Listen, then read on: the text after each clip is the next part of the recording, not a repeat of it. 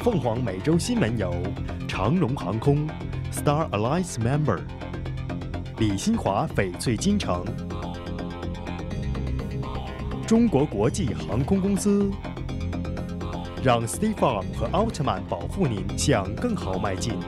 中国东方航空全新启航，静候您到来。联合赞助播出。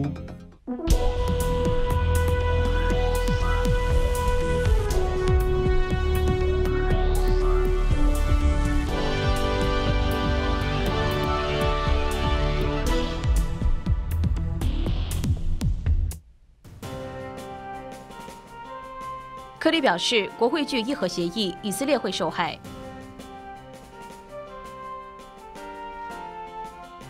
B.C. 省烈士拟修订怪兽屋复利引市民热议。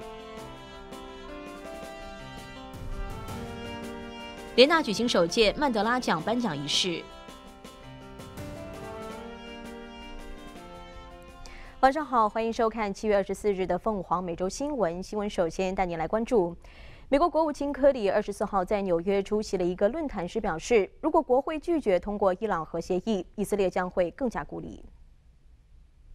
克里出席外交学会的论坛时表示，伊朗目前拥有的核燃料足够制造十至十二枚的核弹。如果国会坚决坚持拒绝通过伊核协议，人们不该问。一五年或十五年或是二十年之后会是怎样，而是应该问现在会发生什么。对于共和党人指责伊核协议会壮大伊朗，使以色列受到威胁，克里认为国会否决协议将使以色列更加孤立。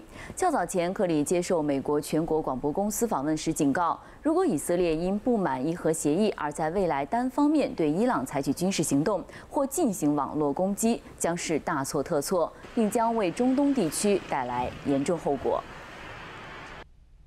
另外，加拿大卑诗省列治文市政府针对早前提出的室内建筑数项复利修订建议，召开了市议会规划委员会及公听会，听取了建筑业界及市民的声音，并再就怪兽屋复利提交最新的修订报告进行了表决。委员会最终同意保留十六尺高度上限，并维持现有垂直外围结构的限制标准。公听会吸引近百名市民前来，约二十人登记发言，其中包括市内的数名建筑商。他们均表示认同新建议报告的大部分内容，但不满将室内高度降至十二尺，同时认为外围结构的限制不应用于所有的土地。本地建筑商代表李维刚呼吁列士政府应保持现行建筑的规范标准，不要再进行任何修改。他表示，若修改生效，新建房屋由于室内高度变低，旧屋无疑会成为抢手房源，将打乱房地产买卖市场。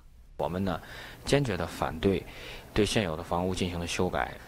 我们并没有建成怪兽屋，也就是超出了政府的容积率 F S 二这个标准。关键是。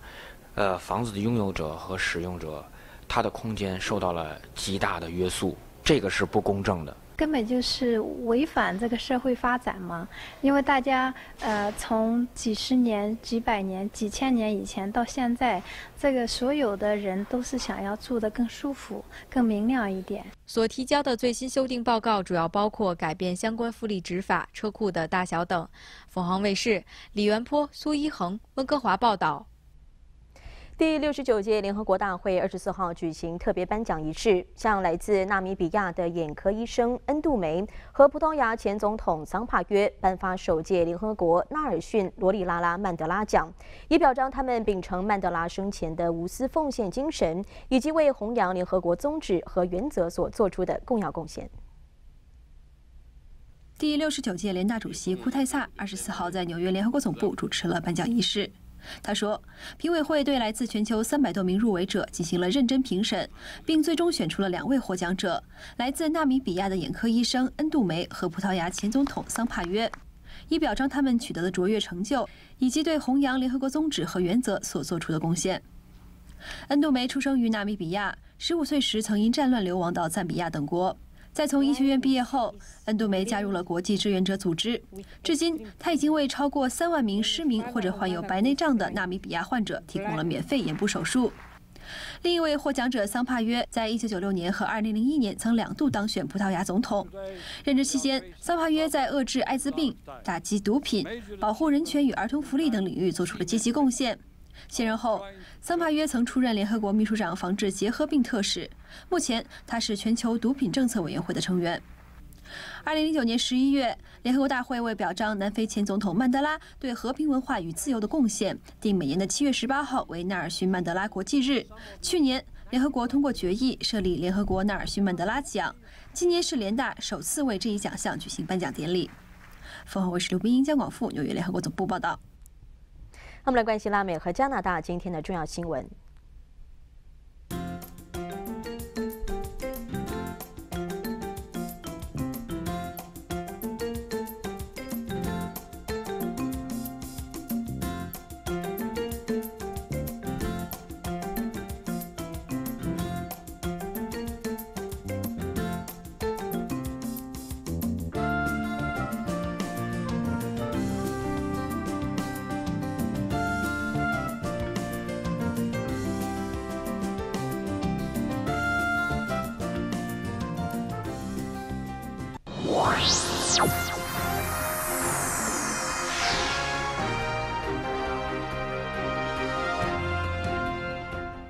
感谢回来，我们来看今天来自美国各地的简讯。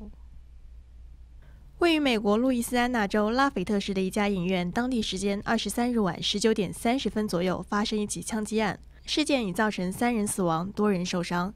此处名为大石榴剧院的剧场，当时正在放映一部喜剧电影《生活残骸》。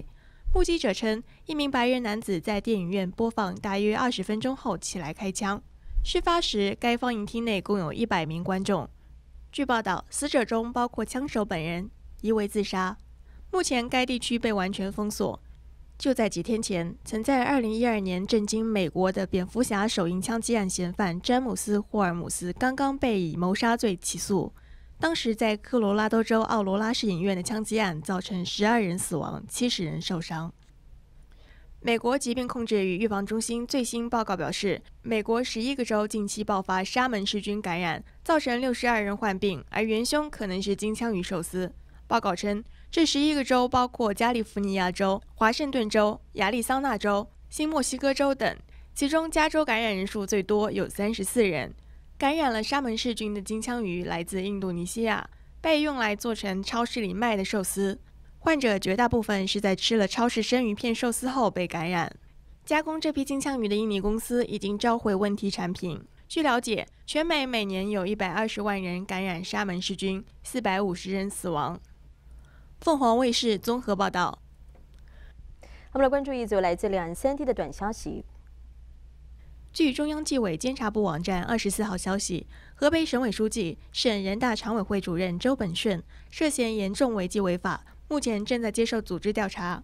今年六十二岁的周本顺为湖南溆浦人，长春地质学院毕业。一九七一年九月加入中国共产党，一九七五年十二月开始在湖南工作，先后担任湖南省地质矿产厅政治部秘书、湖南省委政治研究室主任、湖南省邵阳市委书记、湖南省公安厅厅长、党委书记。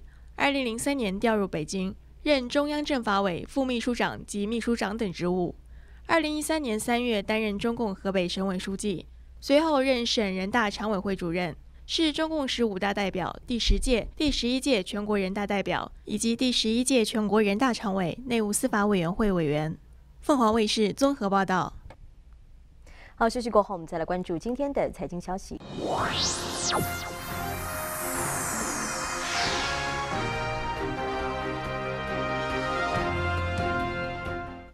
在财经方面，企业财报欠佳及商品期货价格疲软影响，美国股市周五连续第四个交易日收跌。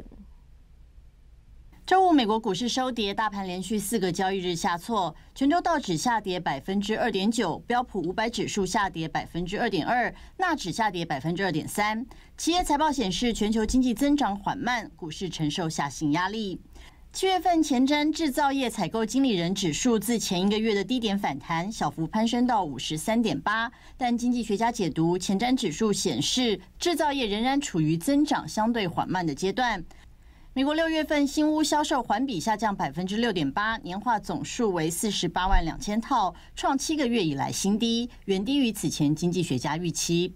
企业财报显示，某些发展中国家经济增长放缓，对大宗期货商品需求减弱，低油价效应又未如预期发挥积极影响，市场必须对这些预期做出调整。不过，专家认为，由于此前市场担忧如希腊债务问题和伊朗核问题都出现进展，长期市场前景依然乐观。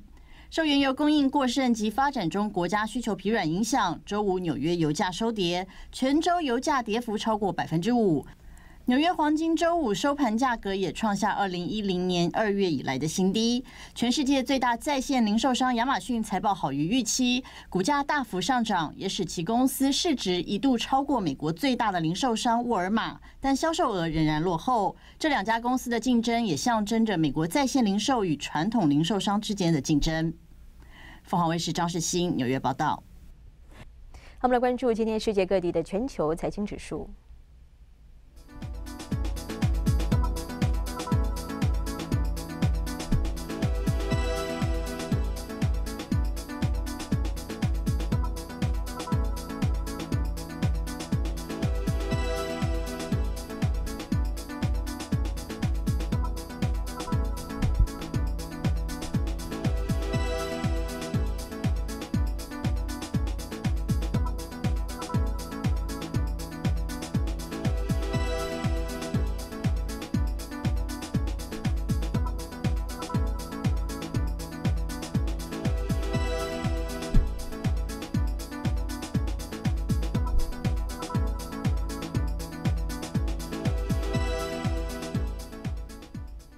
另外，在社区消息方面，美国残疾垒球队第一周年慈善晚宴于十七日在世界最大的牌桌赌场康莫尔斯度假娱乐酒店举行。拥有二十八年历史的美国腾荣观光实业大力支持并赞助这次活动，他们希望能抛砖引玉，带动华人发挥爱心，多多关注残疾慈善事业，希望亚裔群体给予更多的支持和尊重士兵和退伍军人。来鼓励其他失去肢体后生活受到限制的截肢者们。I would like to congratulate the first annual Wounded Warner Amputee softball team charity gala hosted at our resort, the largest number of table game commerce casino. This is a group of a soldier who are the real winner of challenge their life without members and now traveling the country playing softball to inspire. Look forward within the Asian community, attend with love and support for the second annual gala. 于佳莹表示，棒球项目激励和教育观看比赛的所有人，包括其他截肢者和需要克服挑战的所有人。据悉，残疾棒球队是由一群年轻、富有竞争力、退伍军人和各种截肢的现役士兵组成。在当晚贵宾红地毯上，棒球队队员、众多影视明星和大家见面并合影留念。凤凰卫视综合报道。另外，Play by Play 组织本周六将在洛杉矶市中心 California Market Center 举行售票公益晚会，届时所有收获得的善款将全部捐赠给亚太家庭中心。成立已有十五年历史的 PBP 是一个非营利性的组织，每年都会跟不同的亚太裔组织合作举办各种公益活动，号召志工帮助募款，援助亚太裔弱势群体顺利成长。今年合作的对象是亚太家庭中心，其使命为帮助遭受家庭暴力或性侵害的亚裔女性与其家庭成员，免费提供咨询、辅导、庇护等服务。对我们捐给他们，他们可以利用这个钱，可以啊，可以帮助最多人。PPP 组织每年举办的公益活动都得到了很多厂商的肯定和大力支持。这次呃呃和这个 Play by Play 的这个合作机会，啊，我们希望能和这种呃非盈利的这种机构，呃给呃美国的新移民提供更好的生活呃条件。据悉，本次售票公益晚会上，参加者可以品尝到南加州最著名餐饮业的美酒佳肴。尤其是这次活动的主要赞助商四季酒业公司将提供中国贵州茅台酒所调制的茅台珍珠奶茶和茅台鸡尾酒，让中外嘉宾充分体验中国酒文化的魅力。凤凰卫视王福明洛杉矶报道。另外，在工商消息方面，南加州华人医师林殿凯首创应用激光手术治愈老花眼已获成功，新颖的科学技术为老花眼患者带来了福音。林电凯医师于一九九九年在南加州创办了 IQ 眼科镭射中心。多年来，林医师运用最先进的设备，成功的为超过四万多个远近视力患者进行镭射视力矫正手术。但由于年龄增长引起的眼睛视力老花问题，却一直困扰着人类。随着科学技术的发展，新型眼科医疗制裁诞生。近期，林电凯医师又首创在南加州运用美国 FDA 审批通过的 3D camera 激光手术，成功的治愈了人们的老花眼。我们这个新的技术叫 camera inlay，是一个黑黑的小圈放在角膜上面，这里会让灯进来的的灯都是很准确。这个会让你看啊，让我们的病人看远、中距离跟近的都是很清楚。林医师还指出，世界上有近十多亿人口都患有老花眼，尤其人过四十岁后，眼睛或多或少都会产生老花现象。每一个人的情况不同，是否适合进行激光手术治愈老花眼，还要看具体的症状而定。民众如有任何疑问，都可以与他们联络咨询。凤凰卫视王福明、刘神奇报道。我们来看一下未来二十四小时的全球天气情况。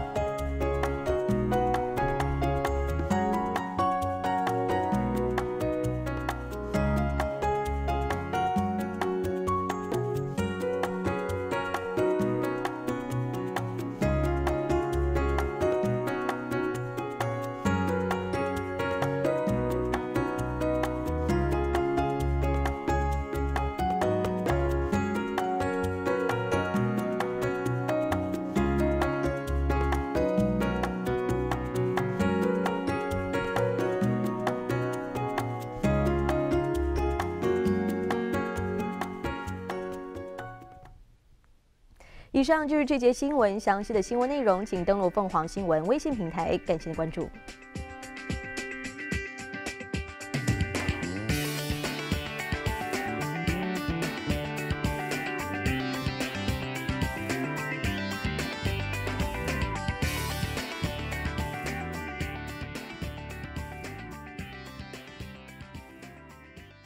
凤凰每周新闻有长龙航空。Star Alliance Member，卡地尔华人独家代理李新华翡翠金城，中国国际航空公司，让 State Farm 和奥特曼保护您，向更好迈进。中国东方航空全新启航，静候您到来，联合赞助播出。